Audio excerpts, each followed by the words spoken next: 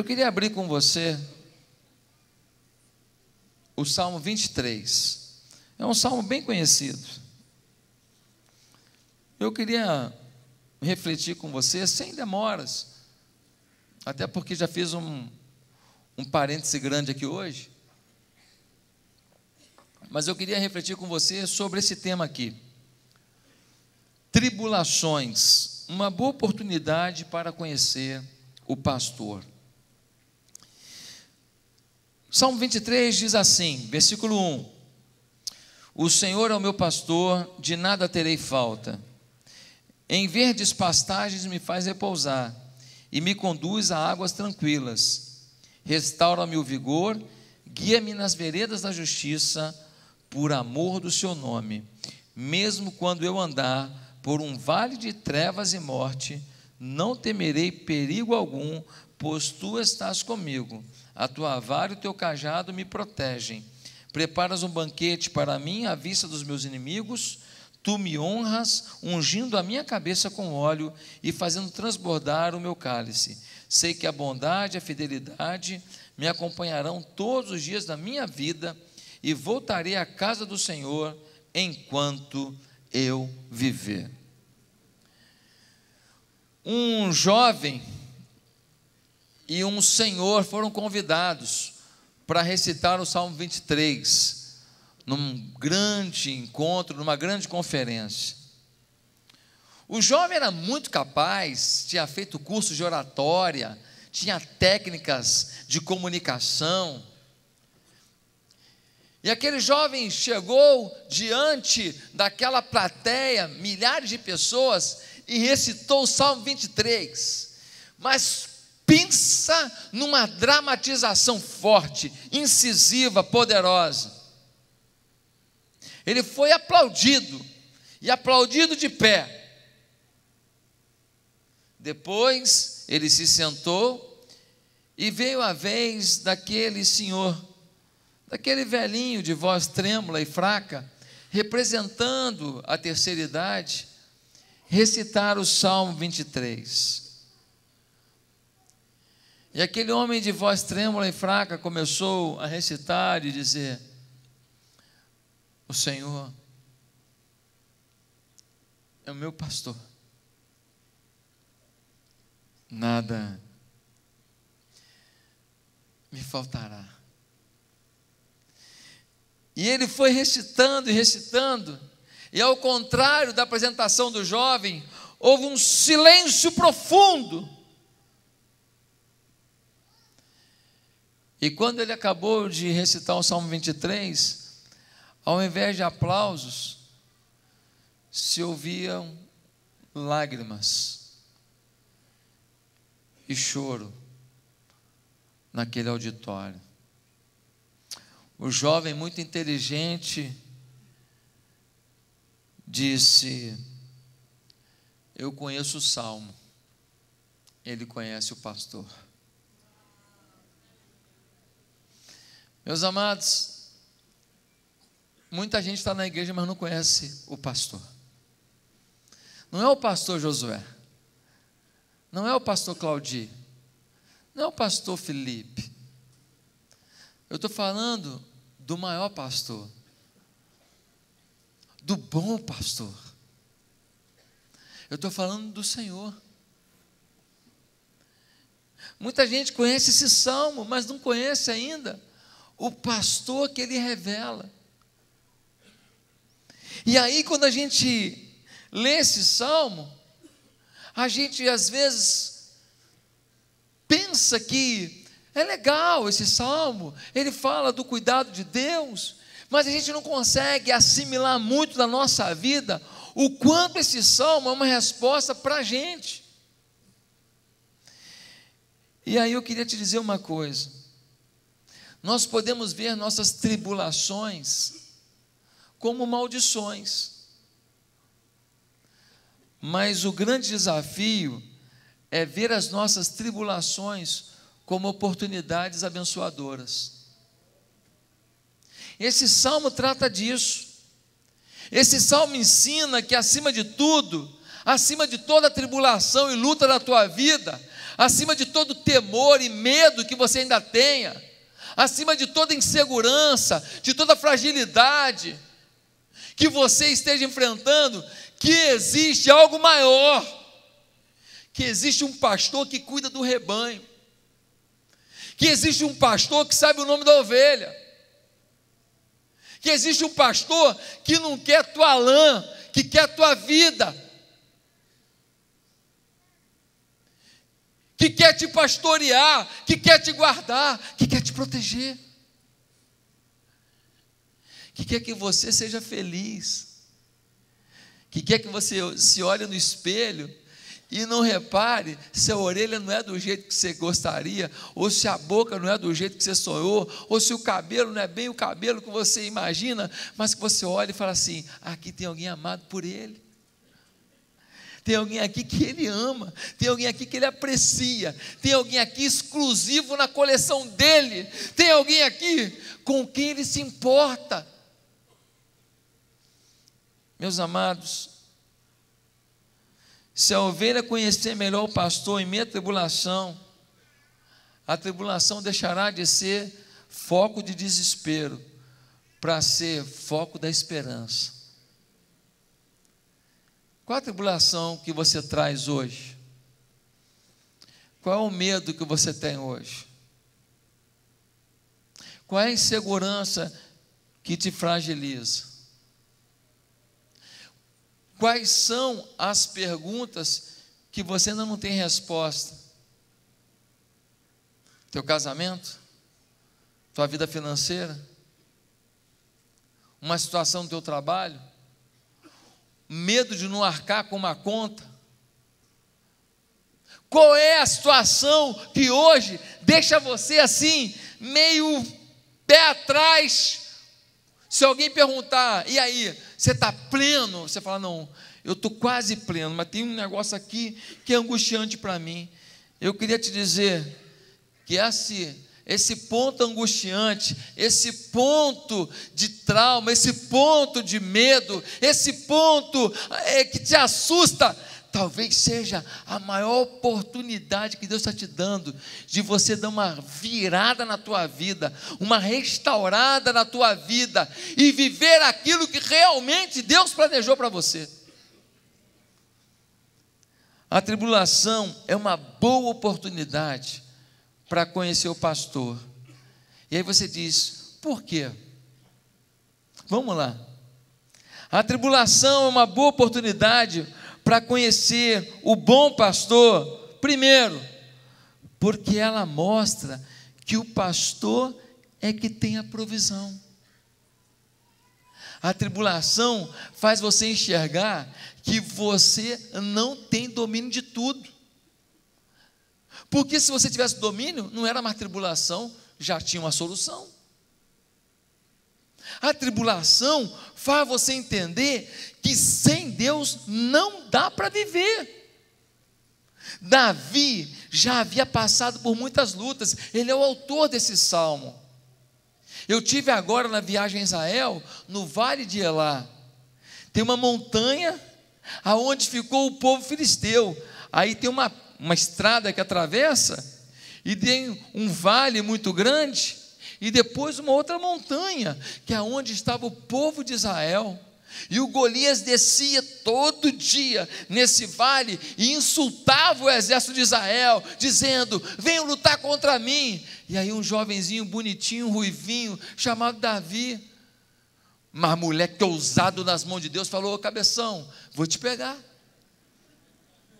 Você tem quase três metros, eu tenho um metro e sessenta, mas não tem problema não. Eu vou, eu vou te pegar, porque você vem com arma, com espada, com lança, com escudeiro, mas eu vou contra você em o nome do Senhor dos Exércitos. Davi já tinha enfrentado situações com Golias, com o urso, com o leão. Ele já sabia que Deus é que dá a solução. Ele já sabia que de Deus é que vem a provisão. Ele saiu vitorioso de situações que eram impossíveis. Um homem venceu um urso. Um homem matar um leão com as mãos. Um homem enfrentar um gigante, guerreiro, violento, de quase 3 metros de altura, e derrubar o cara com uma pedrada certeira na fronte. Se erra aquela pedrada, já era, meu irmão. E tinha um escudeiro à frente, protegendo o corpo de Golias. A única coisa que sobrava era o meio da testa, e foi ali que a pedra entrou. Eu até imagino que a pedra bateu assim, ficou aqui cravada. Quando ele bateu no chão, com a testa no chão, ela entrou de vez e matou. Meus amados irmãos, Davi sabia, porque ele tinha passado por algumas coisas que só Deus poderia dar provisão, ele não tinha como vencê-las. Sabe de uma coisa? Às vezes a tua tribulação é a chance que você está tendo de aprender que só Deus, só Deus é que pode resolver sua vida. E portanto, quando você aprende isso e vence essa tribulação, amanhã, quando vier um desafio maior, uma oportunidade maior, um sonho maior, você estará preparado, equipado para encarar. Porque você já saberá quem é o teu Deus.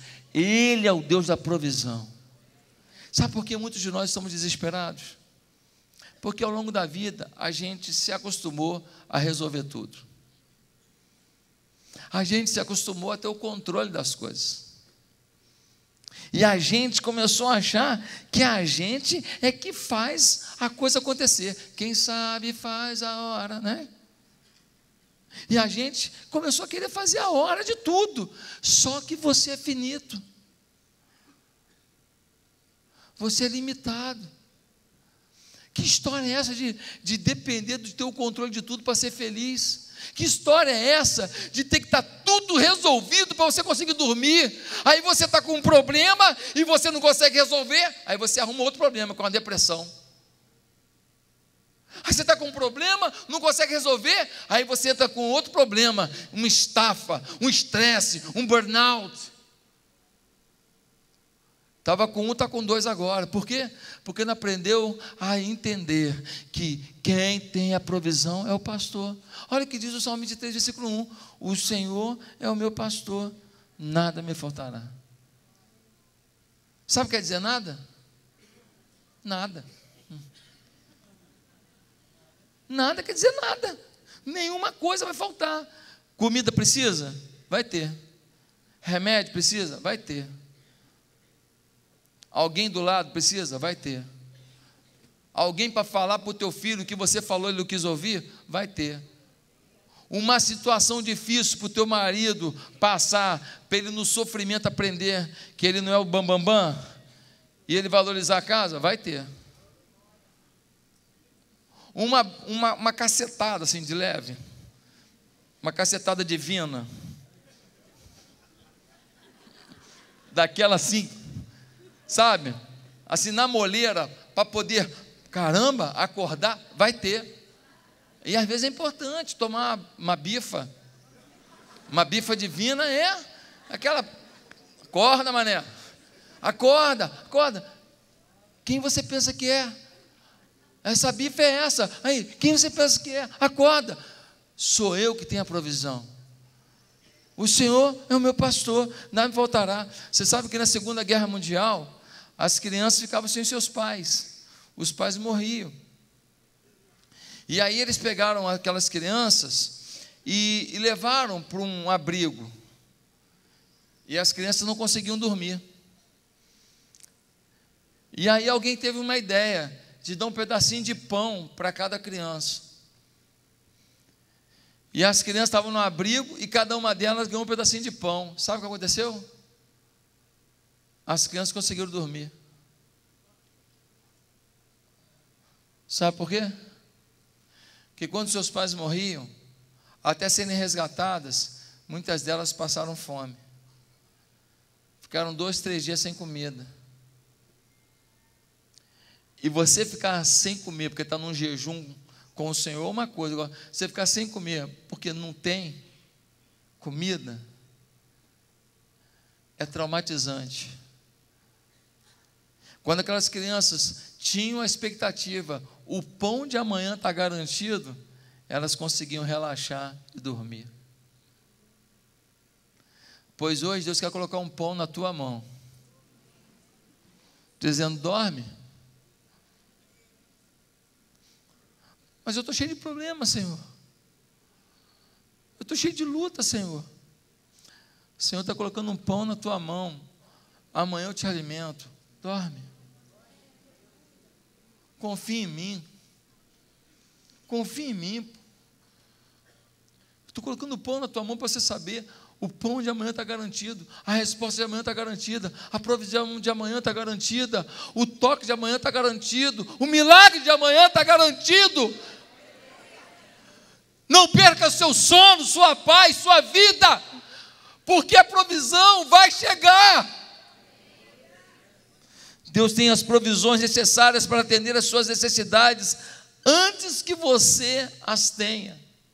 É o que diz Mateus 6,8: diz que o Senhor sabe o que precisamos antes de lhe pedirmos. Antes de você saber que precisa, ele fala assim: vai faltar ali, hein? Filipenses 4,19, Paulo diz: O meu Deus, segundo a sua riqueza em glória, há de suprir em Cristo Jesus cada uma de vossas necessidades. A cada tribulação vencida, você pode olhar para trás, notar quão grandes coisas fez o pastor por você. A cada tribulação, você olha e fala assim: ele agiu de novo, Ele não falha, Ele é o meu bom pastor, Ele é a minha provisão. Eu te pergunto, quando você passa por isso, não faz bem para você? Não muda a sua vida? Não te faz confiar mais nele? Então a tribulação ajuda a conhecer o pastor ou não? Ajuda. E como ajuda? O maior desejo de Deus é abençoar você. Não há necessidade de andar ansioso e triste, pois a provisão do pastor atenderá você. Lembre que nenhuma tribulação é maior que a sua capacidade de suportar. E lembre que nenhuma tribulação é maior do que a provisão que Deus quer te dar. Ah, queridos, muitas vezes somente a tribulação pode nos fazer deixar de lado a autoconfiança para saber que só Deus pode tudo em todos. Segundo lugar, por que a tribulação é uma grande oportunidade de conhecer o bom pastor? É porque ela permite uma reflexão sobre nossa realidade diante de Deus.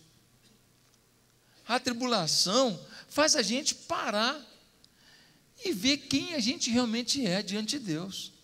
Porque olha só o que diz o versículo 2. No versículo 2, a gente lê assim: Salmo 23, versículo 2: Em verdes pastagens me faz repousar e me conduz a águas tranquilas. Queridos, o pastor quando ele tem um rebanho de ovelhas, ele sai às quatro horas da manhã com as ovelhas. Às dez horas, as ovelhas começam a sentir calor. Mas o pastor sabe que elas não podem beber água, com o estômago cheio da relva. Elas comeram muita, muito pasto, e elas não podem agora, naquele calor, com o estômago cheio, digerir aquela comida ainda cansadas. Então, ele leva as ovelhas até um canto fresco e sossegado, a um pasto verdejante e faz com que elas se deitem ali. E as ovelhas deitam ali. E então o organismo, o organismo começa a ruminar, tratar aquele alimento. E depois daquilo, daquela ruminação, então o pastor as leva até a água, para que elas bebam a água já com aquele alimento bem digerido, bem trabalhado, para que a assimilação daquilo seja a melhor possível para o organismo da ovelha. Olha quanta ciência. Será que eles fizeram alguma faculdade para aprender isso? Será que os pastores fizeram lá algum curso assim de, de zoologia profundo para saber disso? Não Foi o dia a dia, o dia a dia, convivendo com as ovelhas e vendo o que fazia bem e o que fazia mal para elas. Gente, estamos nos alimentando de muita coisa nesse mundo, muita coisa. Nós não estamos nos alimentando de muita informação, de muitos conceitos, de muitos valores. Sabe o que a tribulação faz com a gente? Bota a gente paradinho para a gente ruminar tudo isso que a gente está recebendo. Essa coisa toda que está nos alimentando, essas informações todas que a gente está recebendo, essas influências todas que estão chegando, essas informações que chegam pela internet, que chegam pelas mídias sociais, que chegam pelo, pela televisão, que chegam pela convivência no trabalho, esse bando de coisa, a gente, quando tem uma tribulação, é obrigado a parar e aí a gente tem a chance de ruminar isso tudo e avaliar o que, que faz bem e o que, que faz mal, o que, que é bom e o que, que é ruim, o que, que nos aproxima e o que, que nos afasta de Deus. Às vezes a correria está tão grande que a gente vai recebendo coisas, vai recebendo, vai recebendo, e a gente pensa que a gente não está absorvendo, mas está. Tem coisa que te faz mal e você já aceitou como normal. Tem coisa que pode acabar com a tua casa e você já aceitou como legítimo. A tribulação é uma oportunidade para parar em passos verdejantes, ver tudo que a gente comeu e falar: vou ruminar isso aqui. O que, que eu tenho que vomitar que não vale a pena? O que, que eu posso absorver porque vai me fazer bem?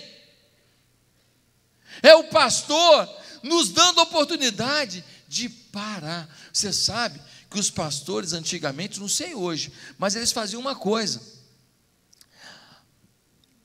As ovelhas todas eram chamadas. Aí fala, vamos por aqui. Aí toda ovelha sabe qual é a voz do, do pastor.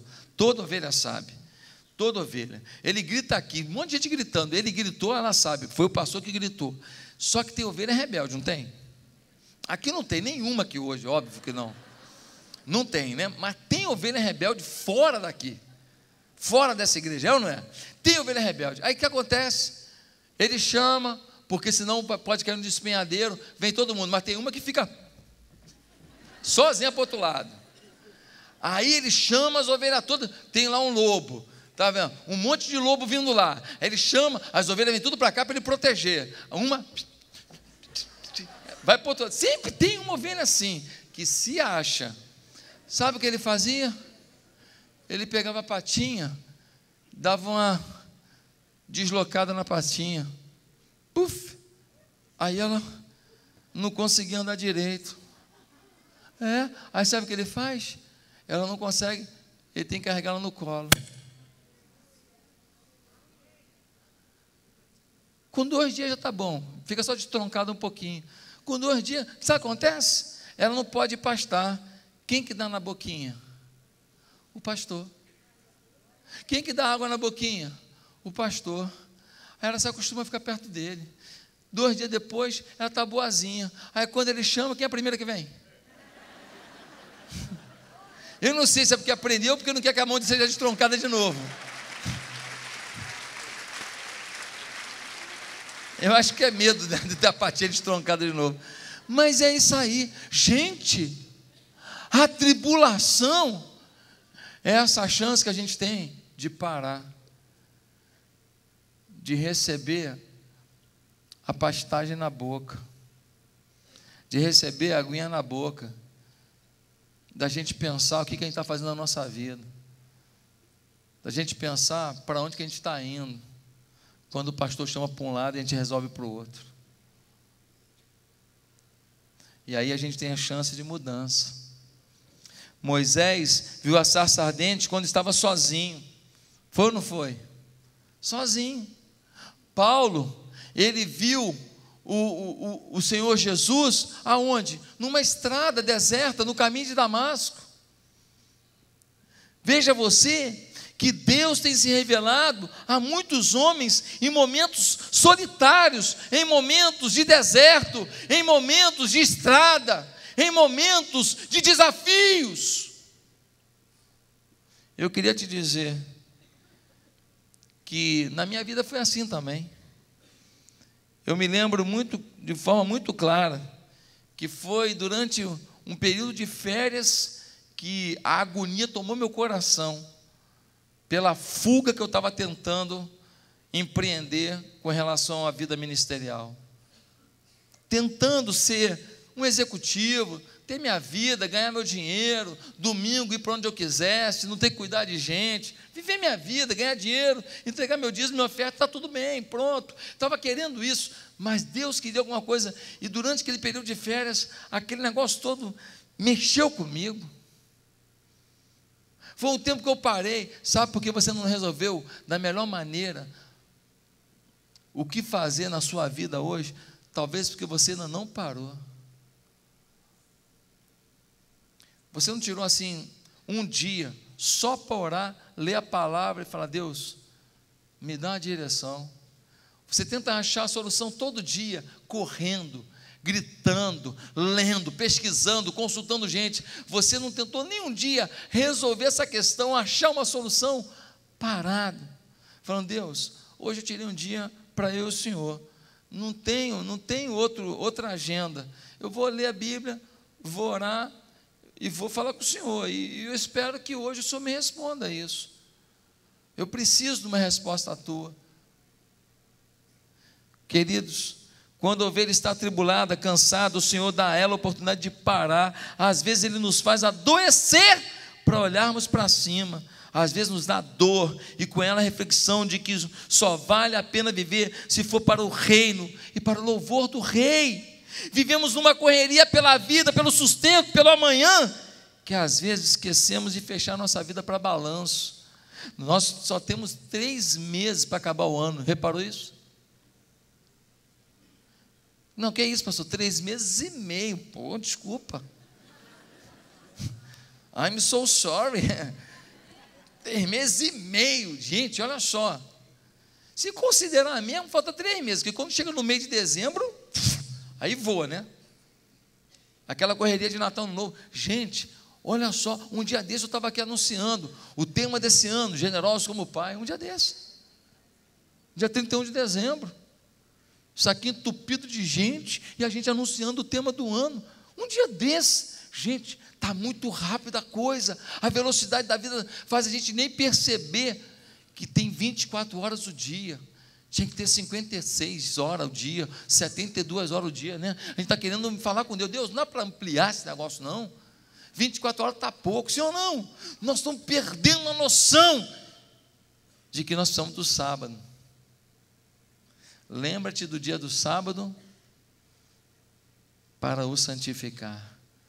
Sabe o que é o sábado? O sábado é o dia que você para para fazer balanço. Como é que foi a semana? onde eu acertei, onde eu errei. E a semana que vem, como é que eu faço para acertar mais do que errar? O sábado é dia de avaliação e planejamento. Deus definiu que a gente precisava disso, mas não. Tentando resolver a vida e ganhar mais dinheiro, e conseguir isso, e conseguir aquilo, a gente não para. Só que daqui a pouco, tudo que a gente ganhou vai ser pouco para pagar a conta do que a gente vai ter que pagar da enfermidade, da doença, do fim do casamento, da perda da saúde, da desilusão, porque você tinha um chamado pastoral e você fugiu porque quis resolver sua vida financeira, para não depender de igreja, não depender de salário pastoral. Você sabe de uma coisa? Você sabe que pastor tem que ter salário mesmo? É mesmo. Todo pastor que eu vejo que não tem salário pastoral, aqueles caras assim que eles têm dinheiro para caramba, são empresários, já vira pastor, assim, qualquer coisa, problema na igreja, eles abandonam a igreja. Não todos, mas muitos. Mas o pastor que tem um salário pastoral, tem família, né? Aí um dia ele está meio com raiva, assim, ele pensa em falar, não, hoje eu não posso não, porque tem que pensar como é que eu vou fazer com a minha família. Aí no dia seguinte ele já vê que a vontade de Deus é que ele fique ali, aí ele resolve tudo. É. Tem que depender da igreja mesmo. Deus fez certinho as coisas. Para que a gente não tomasse decisões precipitadas na arrogância do nosso entendimento, achando que a gente está acima de tudo. Não. Cada um de nós tem que saber depender. Eu louvo a Deus pela chance de ser pastor. Foi no tempo de solitude que eu não pude mais resistir. E hoje eu estou aqui servindo a Jesus junto com você, vivendo essas coisas maravilhosas. Davi fazia do seu tempo de reflexão uma oportunidade de crescimento. Hoje o Senhor quer que você reflita sobre sua condição. Em meio à angústia existe uma chance de descobrirmos o que somos e para o que fomos feitos. O que, que Deus espera de você? Talvez a tribulação te faça encontrar essa resposta. Em último lugar, por que a tribulação é uma grande chance de encontrar o pastor? É porque o Senhor nos ajuda a encontrar o caminho certo a seguir. É uma grande oportunidade de conhecer o pastor, porque na tribulação ele te mostra o caminho. Aí você aprende a não decidir nada sem que ele aponte o caminho. A maioria de nós toma caminhos segundo nossa avaliação, sim ou não? A maioria de nós toma caminhos segundo o nosso entendimento. A maioria de nós decide e pede para Deus abençoar o que a gente já decidiu. Quantas moças aqui que todo mundo falou: não namora esse cara, não namora, isso é porcaria. Ele é sarado, tanque, tanquinho, mas ele é porcaria. Sim ou não? E você sofreu. E todo mundo avisou, foi ou não foi? Todo mundo avisou, ele é porcaria. Ah, mas aquele tanquinho para lavar roupa, oh, maravilha. Sim ou não? Quantos, quantos? Quantas pessoas falaram, não faz negócio com essa pessoa? Mas aí o olho cresceu, porque o negócio ia ser bom, ia ser rentável. Então falando, rapaz, é furada. Deus mandou um monte de recado, você não ouviu, sim ou não? Quantos contratos que você fez só de boca? Dinheiro que você emprestou, negócio que você fechou, só de boca, só de boca. Zé Ruela ao quadrado você foi, sim ou não? Zé Ruela ao quadrado. Não pode culpar ninguém, culpa é você mesmo. Não, mas nunca tinha que imaginar se marido trai mulher, mulher trai marido, filho trai pai, pai trai filho, o que mais que não trai nesse mundo? Se tem gente que vem à igreja e fala mal do pastor pelas costas, sim ou não? Aqui não, claro que aqui não. Se na família tem gente que fala mal, acabou o almoço de família, acabou ali, quando um sai, pronto. Ninguém quer sair, fica todo mundo lá. Vamos sair junto. Eu não é? Que o primeiro que sair, ó. Sim ou não? Ô gente, então você vai confiar. Não dá para confiar. Negócio é no papel. Aqui, ó. Vamos lá. Condições. Prazos. Tem que ser assim, sim ou não? Ah, não, porque para mim não, porque tudo comigo é no fim do bigode. Para você é, mas para o outro pode não ser. E vai que alguém raspa seu bigode também. Meus amados, essas veredas da justiça, essas veredas, esses caminhos da, do certo, caminhos da vitória, é o que o Senhor nos promete em minha tribulação. Olha o versículo 3: restaura meu vigor guia-me nas veredas da justiça, por amor do seu nome. Queridos, às vezes encontramos encruzilhadas na vida e não sabemos que direção tomar, sim ou não? Tem problemas na vida da gente que a gente fala, Senhor, agora deu ruim, não sei o que fazer. Eu não sei se aconteceu com você, mas se não aconteceu, eu tenho uma boa notícia: vai acontecer. Você não vai ficar de fora desse time de pessoas que encontram encruzilhadas. As encruzilhadas fazem parte da vida de todas as pessoas. Algumas, muitas, algumas poucas, mas todos temos encruzilhadas na nossa história. E é nessa hora que o Senhor fala: olha, guia-me pelas veredas da justiça, por amor do seu nome. Ah, guia-me pelas veredas da justiça. O que é isso, pastor? Veredas da justiça significa caminhos certos. Guia-me pelos caminhos certos, pelo amor que o Senhor tem por mim. Davi entendeu que há momentos da vida que se a gente não pegar na mão do Senhor, e Ele for à frente puxando a gente, guia-me, guia-me, guia-me, a gente vai atrás. Se não for Ele guiando, a gente vai escolher mal o caminho. Davi está se lembrando dos tempos de pastor de ovelhas, elas não têm muito senso de direção, as ovelhas são meio cegas, elas caem fácil nos desfiladeiros, elas não enxergam que está vindo uma fera para matá-las até chegar bem perto. Elas são limitadas, elas não percebem que a correnteza do rio está mais forte. Se elas forem um pouquinho para frente, a correnteza vai levá-las. Elas não percebem isso, característica da ovelha. Por isso que a Bíblia nos fala e nos chama de ovelhas. Nós pensamos que somos tão espertos, mas a gente não enxerga um monte de coisa óbvia que está do nosso lado. Ah, querido, a ovelha não possui uma boa visão, não enxerga mais de oito ou dez metros à sua frente, e elas eram levadas por caminhos com vários precipícios, podendo cair e morrer. Os pastores as levavam por caminhos íngremes, mas que chegavam a pastos verdejantes. Passavam por caminho ruim, mas eles levavam a pastos verdejantes. Ei,